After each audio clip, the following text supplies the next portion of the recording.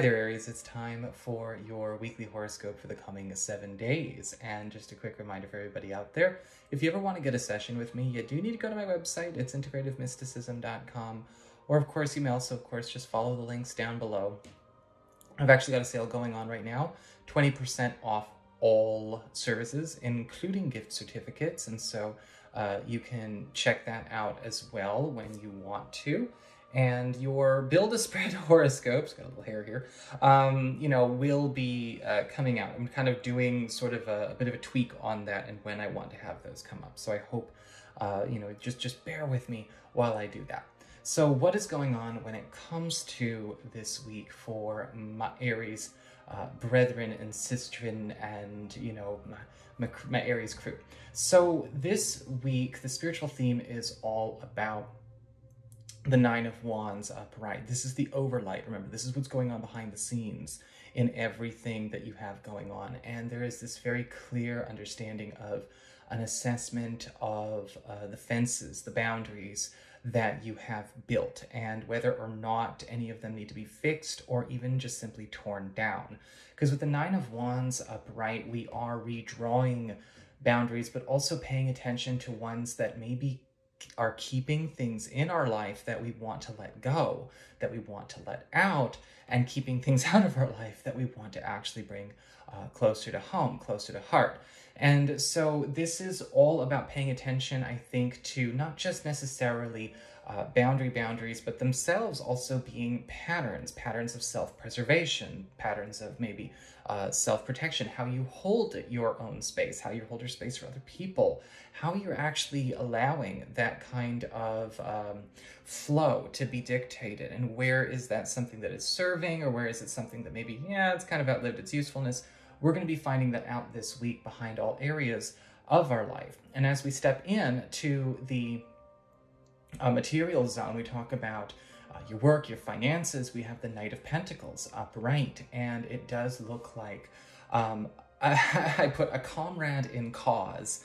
Uh, so we might look at this as sort of like, uh, uh, you know, an ally coming in, a friend, uh, somebody that you might consider to be deeply a part of, you know, even your own soul group, right? You know, a, a deep I, I do sense a deep love, a deep affection that is sort of underlying all of the interactions you're having with this person. And like I said, I can't tell what the nature of this connection is.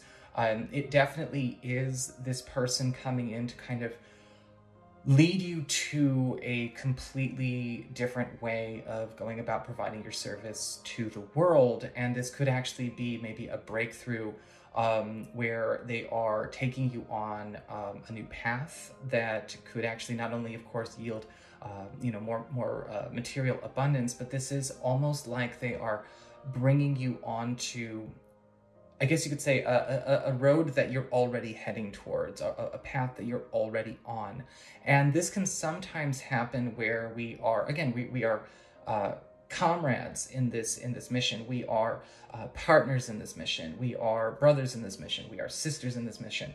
And you are getting a chance to actually maybe they're allowing you to uh, get on their horse or they're bringing a horse for you, but you're being born and carried towards a completely different uh, professional or material opportunity, whether this is within or, or without your current situation, of course, will vary.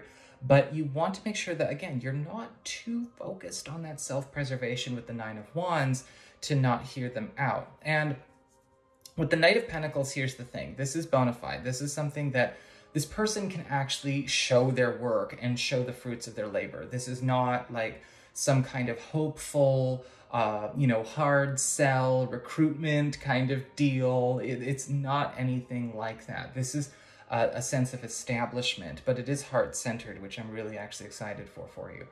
As we get on to your uh, community and your social life, friends and relatives uh, that you've already got around you uh, in close proximity, we've got the Five of Swords upright, and it does look like there is going to be a, a, bit of a clash where I think that you yourself are uh, finding that maybe a conflict is brewing or a conflict is coming to a head when it comes to maybe a lot of sacrifices, limitations, or compromises um, have, have become too much for this particular friend, for this particular relative, for this particular social group. And the Five of Swords is indicating uh, that we are going to see where it's just not an equivalent exchange. We're not actually uh, getting out of this what we're putting into this.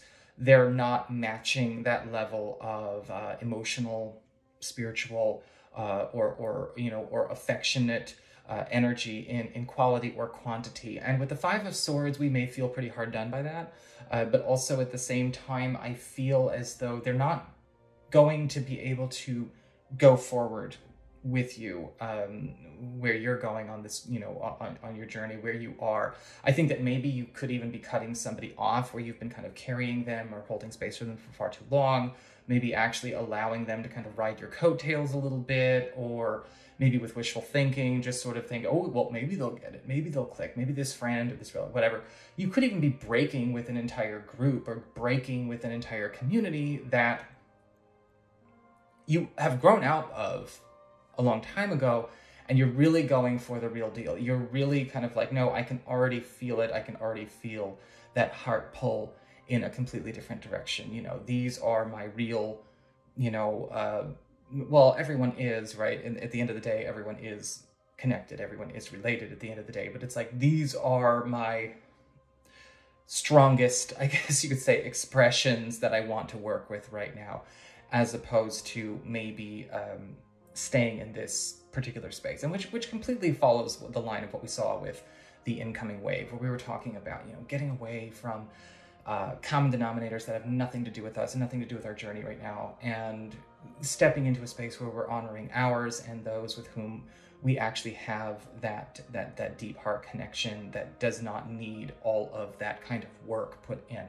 As we get on to your uh, challenge or your lesson that may present as a challenge, you've got the death card in reverse, which is uh, completely what we've been looking at this whole time. Where are things getting preserved that don't need to be preserved anymore? Are they preserved out of habit? Are they preserved out of um, maybe, uh, you know, uh, are, are they preserved for another person?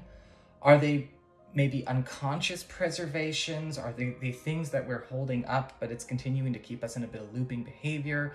Are we maybe preserving something, hoping to get um, through it eventually? This is the question we have to ask ourselves because there are some things that are maybe locking up your your progress, locking up your your love, your freedom, your your growth when it comes to whatever you are maybe trying to hold up. And I'm not sure if we're holding this up because it feels practical or it feels sensible. I'm not saying do anything reckless, but it does look like this is going to be something that has to come up for question. And this is happening, you know, a lot, it looks like, for you this week. For your relationships with love and romance, we have the Three of Pentacles in reverse. And it does look like there is going to be a turn where we have to reconcile with either um, a new person or an existing partner uh, and, and, and really reconcile, really get this understood that we're trying to work on two completely different futures, or maybe more than one future at a time, that are competing for one another. And it's it's really hurting our ability to sync up and work as a real team. And with the Three of Pentacles reversed, we always see teamwork issues. We always see um, possibly, yeah, I kind of feel like I'm in a situation where I'm helping this person build their idea of paradise and their idea of a happy home, but, you know, mine's over here and, you know, I deserve it too. Or vice versa. You may be noticing that a partner is kind of going out of their way to do everything for you, but it seems almost like they don't really know what they want, so they're just kind of doing that by default.